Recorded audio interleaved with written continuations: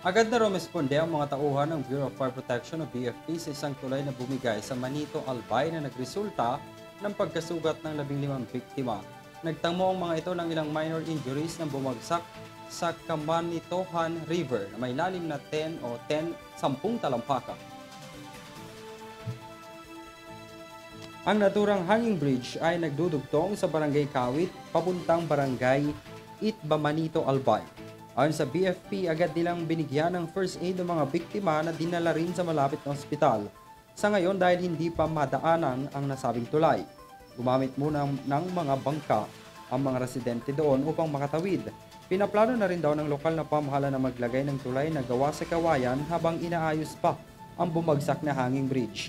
Ayon sa mga otoridad, dahil sa kalumaan kaya bumigay ang tulay na tatlong dekada na raw tinatawiran. Nangyari ang insidente bandang alas 6 ng hapon noong Miyerkules, April 17 kasabay ng uwi ng mga estudyante galing eskwelahan.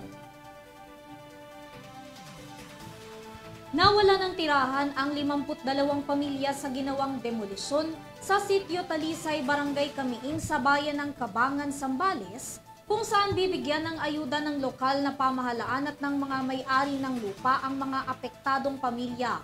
Si Catherine Landicho para sa detalye ng balita. Sinabi ni Kabangan Mayor Ronald Apostol na hindi bababa sa isang daang bahay at pitong resort ang gigibain at ang 52 apektadong pamilya lamang ang ililipat sa 5,000 square meter na lote sa loob ng 11 hectare na lupa na inaangkin ng may-ari.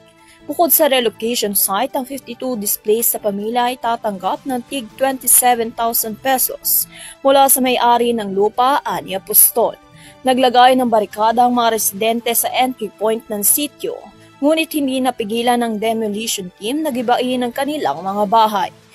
Nailabas na ang writ of demolition matapos ang dalawang hatol ng korte noong March 26, 2019 at July 22, 2019 na nagdesisyong pabor sa may-ari ng lupa. Naglabas din ng Korte Suprema ng isang resolusyon noong July 2020 na tinatanggihan ang petisyon ng mga nakatira na baligtarin ng mga desisyon sa mas mababang hukuman.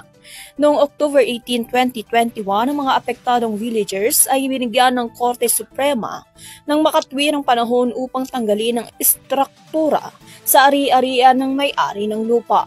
Nagsampa din ng reklamo ang may-ari ng lupa para mabawi ang tinitirika ng mga kabahayan rito na di umano ay pag-aari nito.